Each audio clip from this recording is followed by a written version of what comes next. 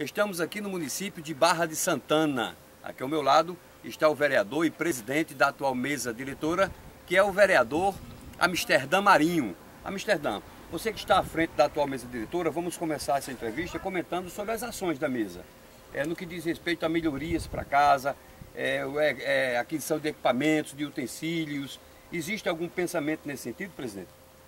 Sim, Roberto. É, a, a, a mesa, a, a, casa sempre trabalhou nesse sentido de melhorar é, as qualidades da sua infraestrutura, seja em utensílios, até porque também adquirimos na minha gestão é, novas cadeiras para aquela casa.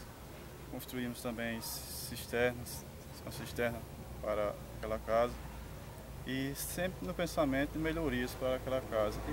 E, e em busca também, junto ao Poder, o poder Executivo, de requerimentos para melhoria de nossas comunidades e melhorias, seja na infraestrutura, na saúde, na educação, sempre, aquela casa sempre está cobrando diretamente ao executivo. Bem, por falar em executivo, como é que está o relacionamento? É, pela, pela forma como você se referiu, é, aqui é, é já dá para demonstrar que existe sintonia, existe união entre os poderes. Sim, é verdade. Isso aí, é, aquela casa sempre trabalhou em sintonia com com o executivo, na pessoa do prefeito Joventino Tião, é, que sempre tem se desdobrado para tentar melhora, melhoras para o nosso, nosso município, diante de uma crise que estamos passando aí, mas é, o, a sintonia que existe com aquela casa é, é, é boa, é, é favorável.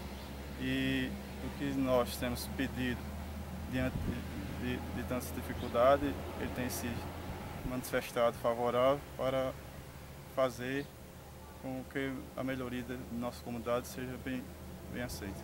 Muito bem. É, Amsterdã, qual a sua mensagem ao povo aqui de, de Barra de Santana, é, em seu nome, em nome dos seus pares, em nome de todos os vereadores, é para uma perspectiva de futuro melhor, uma mensagem para um futuro mais promissor, focando, claro, as eleições que já se aproximam?